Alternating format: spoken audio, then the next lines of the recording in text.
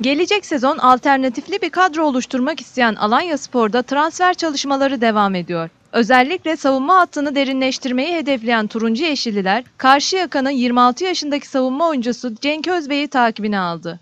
İzmir ekibiyle olan sözleşmesini tamamlayan ve serbest kalan başarılı oyuncu, bu sezon Spor Toto 2. Lig'de 32 maça çıkarken 2880 dakika sahada kaldı. Üç kez de gol sevinci yaşayan Cenk Özbey, daha önce Süper Lig'de forma giymedi. Gençler Birliği ve Adana Demirspor'un da başarılı oyuncuyla ilgilendiği öğrenilirken, transferle ilgili son kararın bu hafta içerisinde verilmesi bekleniyor.